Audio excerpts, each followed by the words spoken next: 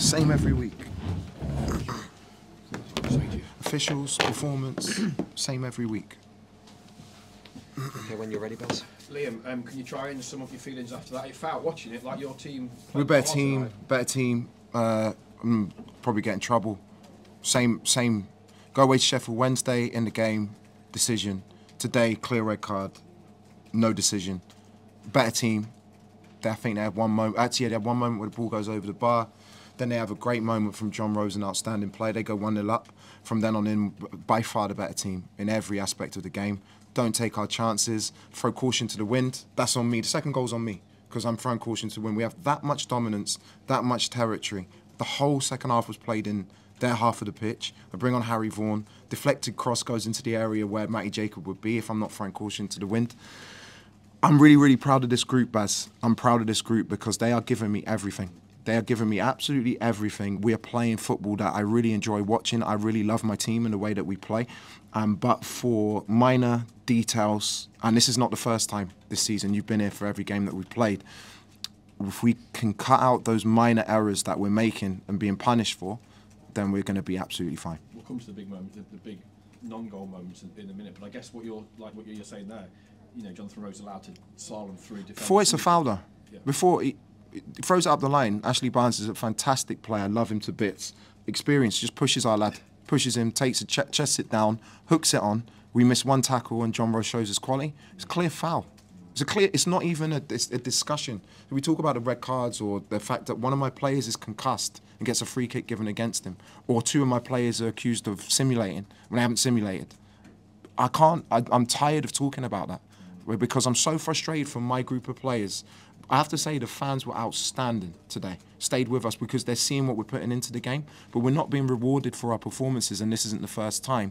But I'm, it has to end because we are a very, very good team at this level, and we're not taking advantage of being a dominant team in every aspect of the game today. What's your thoughts on the Connolly incident? I don't know how I don't know how we're penalised for a free kick. I don't know how we're penalised for a free kick. I, I can understand why the goalkeeper's come out. He had a very good game. I don't know if you can punish him. I think they're both going for the ball, but it's clearly our free kick, at the least. I don't want people showing red cards. I don't want um, players off the pitch. But for us to be penalised for that, pretty much sums up how I feel the refereeing decisions have gone against us this season. And Baz, you know me. I, I think I'm fair over the course of the last 27 games we've had, I can talk about far more incidents that have gone against us than have gone for us, including the first the first game that we played Norwich in. How is Aaron? He's he's uh, shaken up. Uh, we're going to have to check him over in hospital, um, and we have to see if he's okay for Tuesday or for Friday. Just to clarify, that was a concussion substitution, wasn't it? No, it wasn't. Oh, it it, wasn't? wasn't. because I didn't fully know if he was concussed or not. You couldn't tell at the time, so we just did the safe thing and, and got him off the pitch. Yeah. Uh, the Lewie Coyle incident. I think he's got a bit of a shiner. He's got a shiner again, uh, clear red card. What more can I say? Have you been able to speak to the referee? I don't want to speak. Last time I spoke to a referee, Baz, with respect, I got banned. I spoke to him with respect. I got banned for a game. At Bristol City. So I, I'm not going anywhere near referees anymore because something needs to change. Um, I'm tired of coming out. I, I, you know, when I, I always wanted to become a manager, I said I'll never blame a result on a refereeing performance. I'll never make excuses. But I can't not speak on what's happening in front of my eyes. I thought his performance helped them in every aspect of the game. We wanted to play football today. We wanted to restart the game. They wanted to slow the game down. They want to make tactical fouls, and the referee just bought every single one. And then at the end of the game, he adds three minutes on to the end of the game. When they're taking every throw in took 30 seconds, every goal kick took 30 seconds. There was a big discussion at the start of the season about we're going to add time on, we want the ball in play. We, it's gone. But you know what, what frustrates me? We played Norwich first game of the season didn't time waste. They had 30 seconds on. They put the ball in the box. They foul our centre half. They score. And today we're playing three minutes. So how can I not be frustrated for a group of players, young professionals, who's their dream to play in the Premier League, when they're being time after time penalised for things and going, things are going against them? I'm frustrated for the players. Yeah. Um, how did you assess Fabio's performance today? I thought for his first game he was outstanding. I thought he was outstanding. The positions he took up in between the lines, his understanding, his pressing, gave us such a platform in the game. We, I, I remember us, we pressed and pressed and pressed. They couldn't get out of their half, second half. That's his first 90 minutes in months, and he's only going to get better. And I can't wait to see a fully fit, sharp Fabio Carvalho in his team. Um, no Allahyar in the squad tonight. What- Now Ali is close to going out on loan. Uh, we've agreed a loan deal with another club. I think Allahyar needs regular football to find his confidence again and get a regular um, amount of games. And we're looking to do some work in his position in the transfer window. Yeah, anything else is anything else close?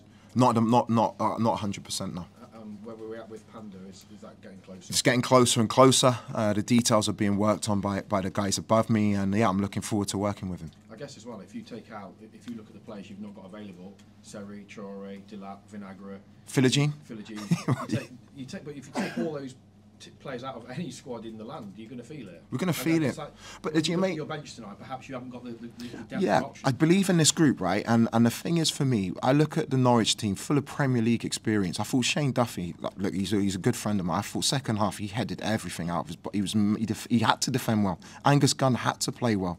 I'm playing with a really really young team who dominated the game in every aspect. I'm so proud of them. And if we keep playing in this way, and when we get Jaden back and Fabio's up to full sharpness, Mika comes back, and we add in the areas that we we missing Liam Delap, who's one of the best attacking players in the league. I'm really proud of what our players have done. The only thing I'm frustrated with are things out of our control, which is certain people's performances and not taking advantage of moments when, that we should have. Okay.